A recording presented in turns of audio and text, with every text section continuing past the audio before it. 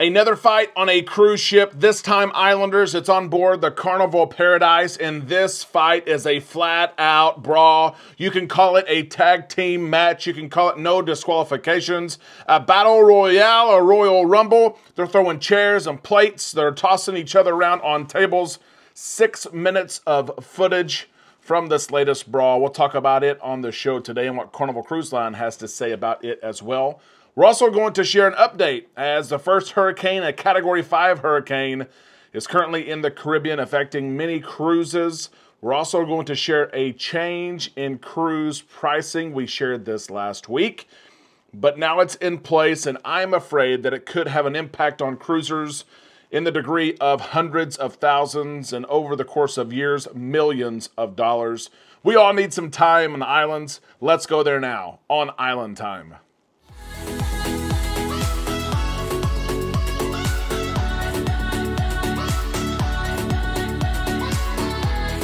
A big happy Tuesday to all you Islanders. We hope that you're having a great day. We are right here on Island Time. I am Derek. Let's drop our anchors and take some time to relax in the islands together. Relaxing in the islands, relaxing on a cruise ship.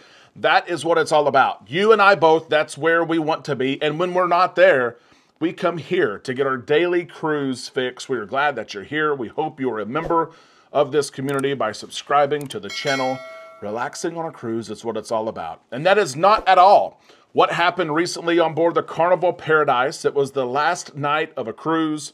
There's video of this fight that took place. And like I said in the intro, this is not just the old simple, you know, pow, pow, uh, boom, boom, boom, bam, bam, bam. It's not that. We're talking about no disqualifications. You can use any weapon around you. You see a chair up there on Lido deck, go ahead and use it. You see a plate, bam, use it. No disqualifications. A six minute video was captured. I'm not going to show it on the show today in fear of this channel, my channel, uh, having some backlash by YouTube. But the video is out there on YouTube, and I will share it in the description of this video if you want to watch it. A man was just going up to get pizza, and little did he know that he got pizza and a show. The fight took place over six minutes, and as I said, it was indoors on Lido deck chairs being thrown, plates being thrown. There were several people involved in this fight. Quite the spectacle. And it's uh it blows my mind. Fights take place. They take place at home. They take place at all-inclusive resorts. They take place at airports, on airplanes, and on cruise ships. And I understand that's the reality of it sometimes. But when I see a video like this and I see the brawl and the anger in a video like this, I just have to wonder how did we get to that point? What happened on a cruise ship on vacation that we got to that point where people's hair is being ripped out, where plates are being broken, chairs are being thrown? What in the heck happened? And is the ship not big enough that if you get ticked off at somebody, can you not go to another part of the ship and not see that person for the rest of the cruise? Do we have to ruin it for everybody the passengers that are there, the crew members, I felt so sorry for. If you watch the video, you can see the security officers walk up there and they're trying to manage things. But guys, this is not just two people in the fight. There's a high number of people, the six, eight, ten, I don't even know. You can't even tell how many people are in the fight. I felt sorry for those security uh, members who are trying to break it up.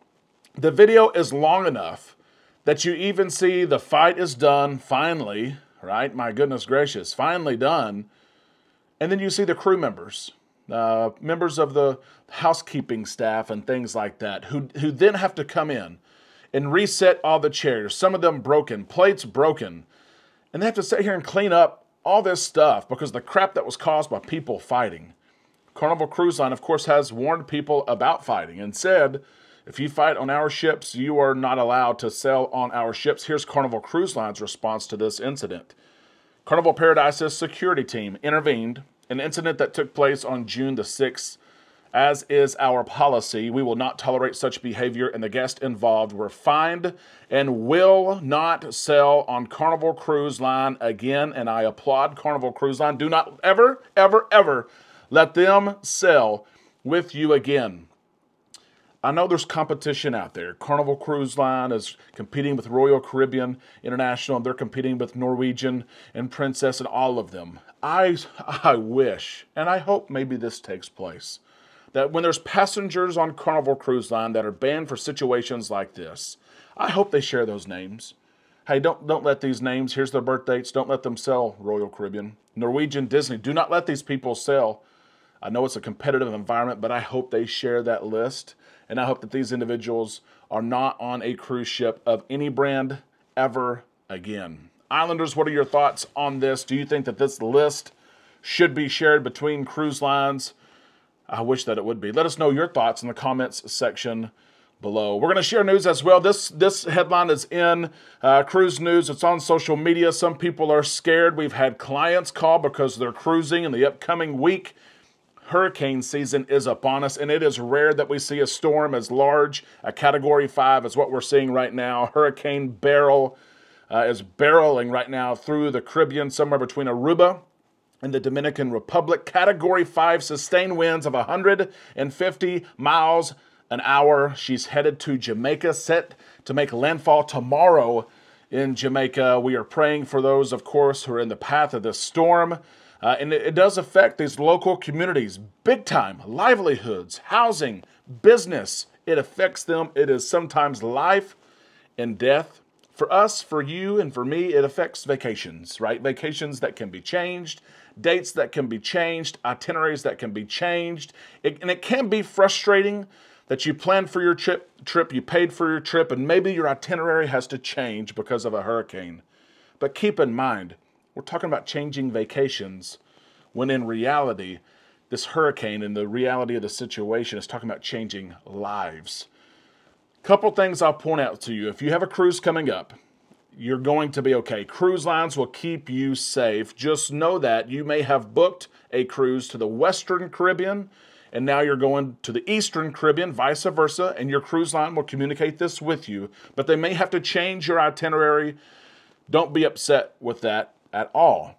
Know that if you purchase short excursions through the cruise line, they'll be refunded. If you purchase your own short excursions through a third party or independent agency, you may or may not get your refund. Keep in mind hurricane season, especially when you book these excursions on your own. Uh, check that policy. If you don't make it to port because of weather, do you get your money back? Check that uh, before you book it. I wanted to point that out. We're praying, of course, for all those in the path uh, of Hurricane Beryl. We'll see what happens after it, it uh, hits uh, Yucatan, Mexico. Hopefully, it doesn't turn north. There's a change that I pointed out. This is the last story for the day here. A change that I pointed out. It's been almost a week that I pointed this change out in cruise line pricing. And I liked the change at first, but now I have cons- some concern, and I'm afraid that it could result in hundreds of thousands and millions over the course of years of passengers losing money. There's a new law in California that has really made cruise lines think about the way that they price their cruises. They've always, most cruise lines anyway, the big players, has always just showed the cruise rate that you see. They add on the port taxes and fees once you get to a certain process step in the booking. And a California law now says it's a transparency law, the honest pricing law now says that those in California who are looking to purchase different things, cruises included, the cruise line has to show them the total amount per person and not wait to take on, tack on the port taxes and fees until that last screen. This has changed things because cruise lines have said, okay, if we have to do this in California, we're going to do it across the board. Carnival, Cru- uh, Carnival Cruise Line, Princess, Royal Caribbean, all of them have said, we're going to switch to this new pricing structure and visibility, not just in California, but across the country.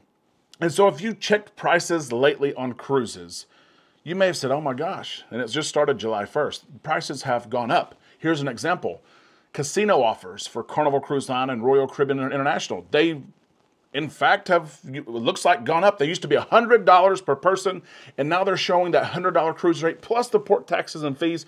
They're showing 180 a person, 190 a person and people are saying what in the world? This is not good. My cruises have gone up.